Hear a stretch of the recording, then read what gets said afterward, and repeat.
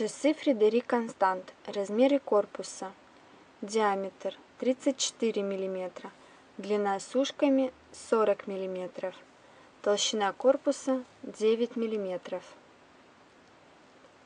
Корпус из нержавеющей стали покрыт позолотой. Циферблат перламутровый гелишированный, украшен бриллиантами. В заводной головке имеется кабошон. Задняя крышка прозрачная. Имеется логотип производителя и информация о часах.